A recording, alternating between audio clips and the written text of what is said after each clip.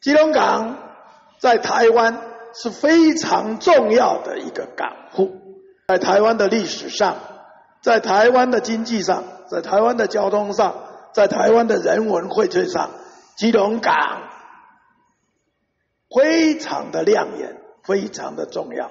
曾经它的关税收入在台湾是整个占六成以上，而当年占领台湾五十年的日本人撤退。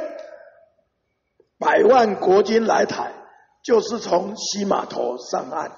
当年所有军事、政治、文化、历史都从这里。我们看到基隆港二十年来讲军港西迁，讲了二十年，动也不动。但蔡总统在前年二月支持下，我们开始动，而这个。就希望在明年六月以前一定要完成。我们不但看军港的西迁，而且我们未来整个在建设完成后，我们的啊西西二西三这个整个大楼整个建设完成，都可以在港里面看着游轮进港，整个从各方面的建设。一直到相关的迁移、改头换面，可以看出整个基隆港过去只讲一个港，它现在是港市合一。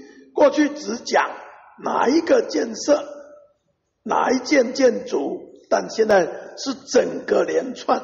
那基隆非常需要中央大力支持，蔡总统也一再交代指示，那我会特别。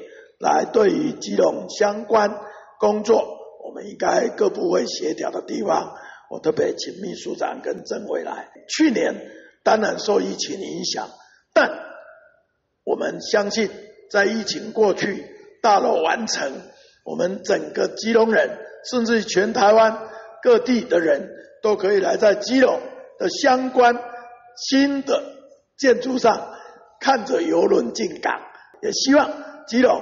能够越来越好，中央一定大力支持，我们各部会协调合作，一起让基隆越来越漂亮，越来越重要。